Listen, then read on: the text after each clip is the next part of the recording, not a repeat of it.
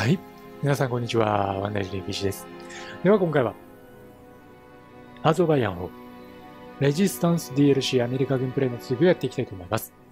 前回はね、日本に本土攻撃を押しかけたんですが、まあ、あの、撃退されてしまったということもあってですね、今回は、もう本格的に本腰を入れて、えー、日本をね、攻撃していこうというふうに思っています。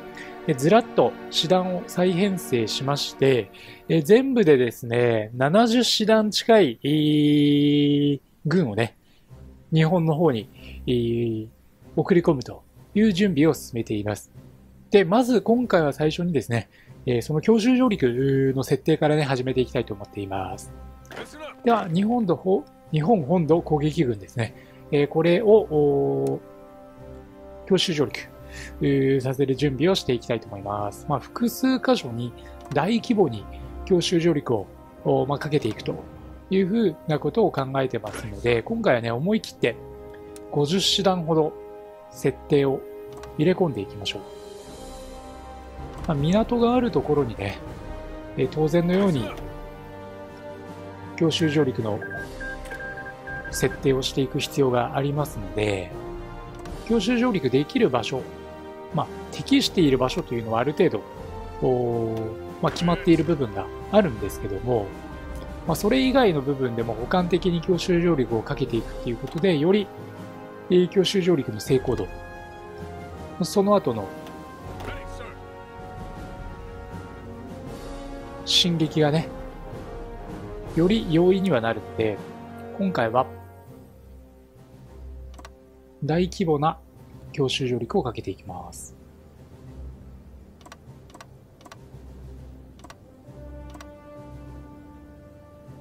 はい。えー、強襲上陸の設定しました。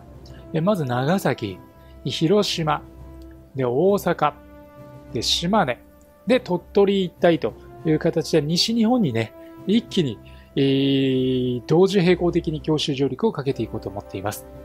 で、正解機はね、もうすでに我々のものになっているので、えー、気にせず、あとは上陸後にね、うまくハンドリングしていければいいかなと思っています。では、時間を進めていきましょう。日本陸軍もね、まだまだ、あ健在という状況ですからね。師団数が100以上残ってますからね。まあ、海軍はもうボロボロですね。実質、壊滅したと言っていいと思います。で、あとは、ドイツ軍の方なんですけど、ドイツ海軍の方もね、えー、もうボロボロという状態まで追い込んでるので、ここから先は、陸軍を相手にした戦いというのをね、えー、ちょっと見定めていく必要があるのかなと思っています。なので、生産のラインもね、えー、少し海軍関係に関してはもう止めていってもいいのかなというところですね。まあ、これ以上、大型化をね、え、数用意する必要はもうないのかなというとこですね。なので、まあ、あのー、空母のね、数を減らしていきましょう。資源を食いまくりますからね。やっぱり。その分、陸軍の装備の建設の方に回していければいいのかなというところですかね。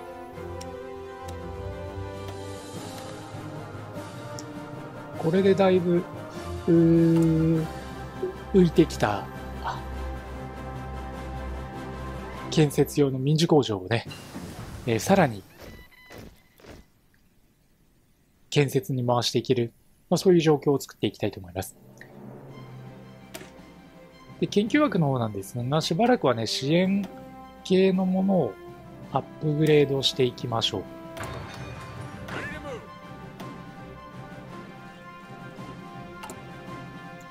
う。で、囚われたエージェントの救出作戦ですね。これが完了してます。で、強襲上陸の方は3分の1ぐらいですかね。準備が整いつつあるとという状況になっています。原子炉も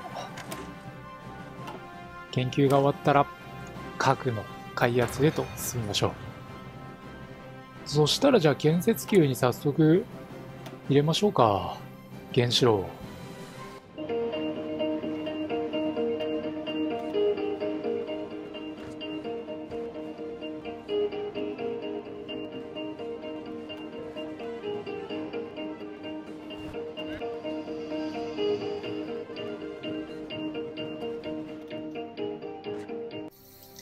はい。ではね、教習上陸始まってます。えー、全師団教習上陸が始まっている状態です。なので、まずこの教習上陸のね、差配をしていきましょう。上陸がうまくいってくれないことにはね、話にならないですからね。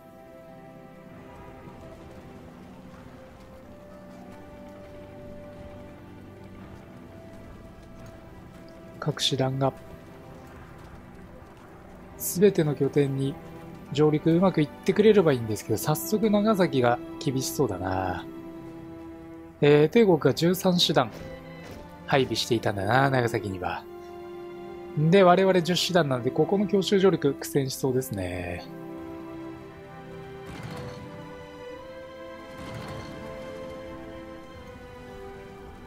なんとかね、最低3拠点。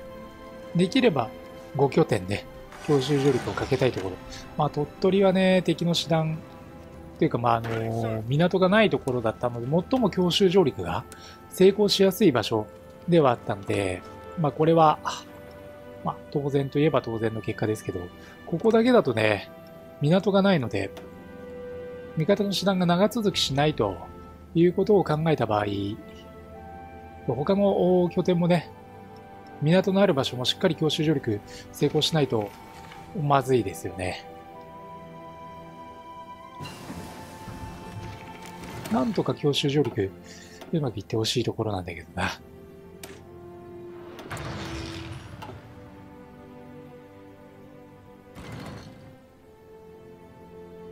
他が、ちょっと強襲上陸苦戦している様子がしますね。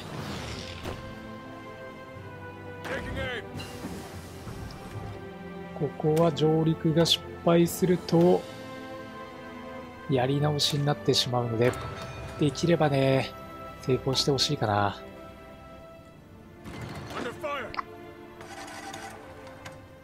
広島だけでもいいからね、取ろ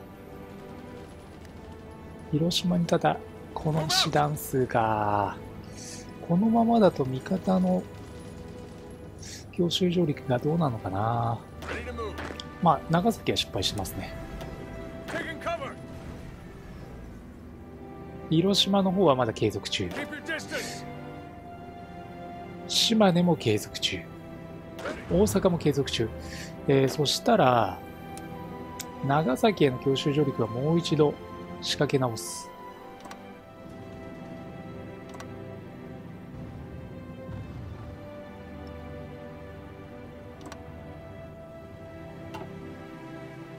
間に合うのかという問題はありますけどね。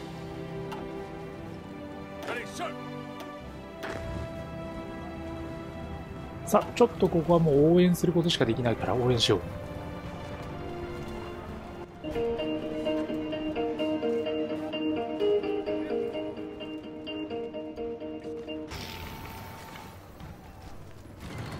そしたらちょっとね、強襲上陸厳しくなっているので、もう一度強襲上陸、えー、設定し直していきます。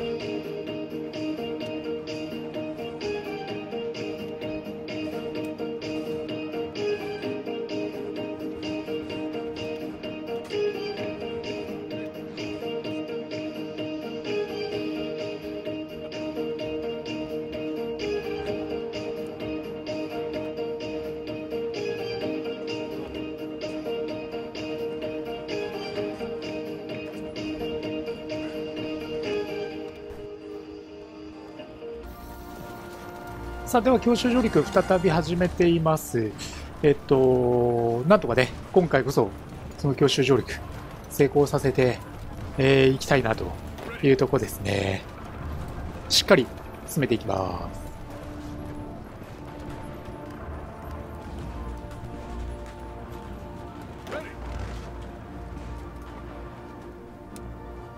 大阪の方にも上陸は一応うまくはいってそう。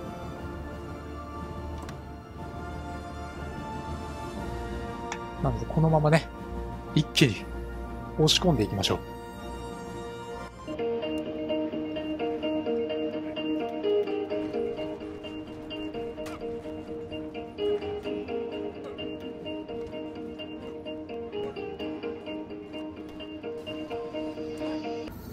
さあ、上陸作戦、ここまでは順調なんですけどね、こっから、えー、帝国陸軍がね、えー、上陸した我々の部隊に殺到してくると思うので、まずはね、敵の第一次の殺到部隊をなんとか退けていくという動きをしていきたいと思っています。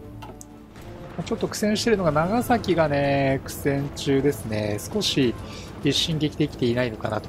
で、えーまあ、大阪のところからですね、まあ、呉、ここをね、なんとか狙っていきたいなというところですかね。呉の方の強襲上陸、ここがまだ、あ完了しきっていないかなと。むしろちょっと呉の方への強襲上陸は失敗した感があるのかな。残念ながら。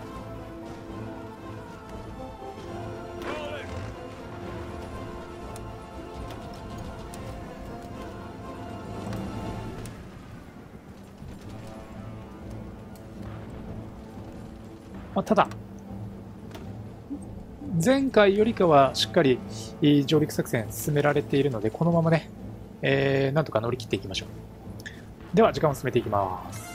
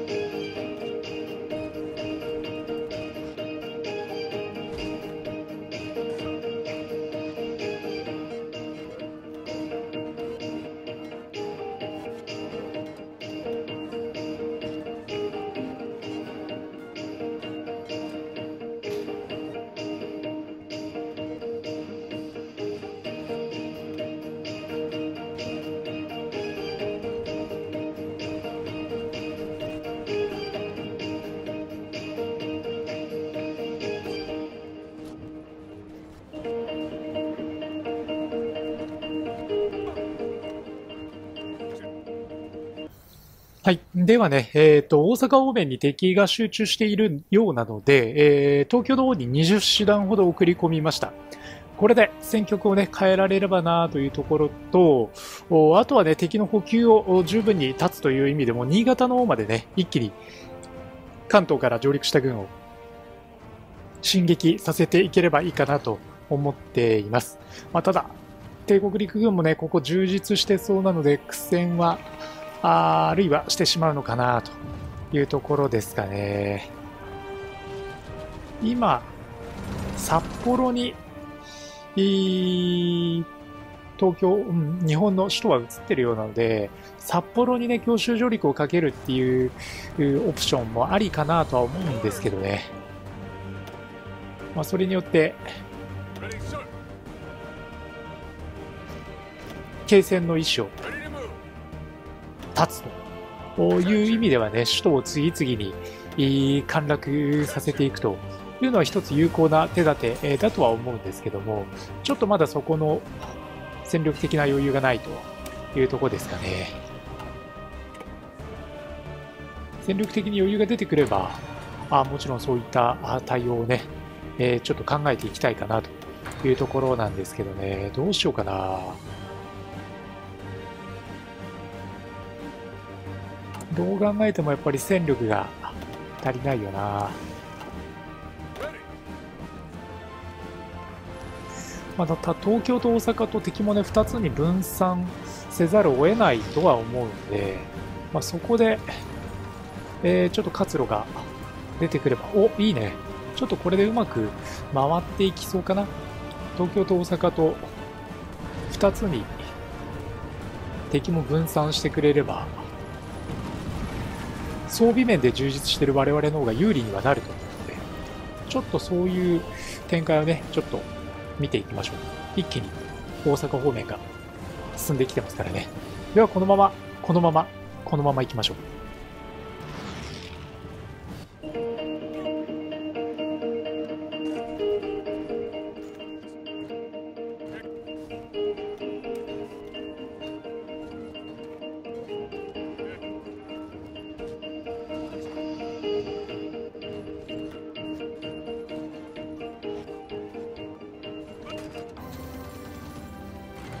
はい。えー、取りましたね。日本を降伏させることに成功しています。では、この後ね、えー、日本を、まあ、一旦割譲させて、えー、アメリカのね、えー、領土にしてしまいましょうというところまでやっておきたいと思います。では、今回はここまでにさせていただいて、次回ですね。またこの続きをプレイさせていただきたいと思います。はい。最後までご視聴ありがとうございました。内容いかがでしたでしょうか？ぜひ、えー、皆さんの感想や、あとアドバイスですね、いただければ嬉しいなと思います。それと、チャンネル登録と Twitter のフォローもぜひぜひよろしくお願いいたします。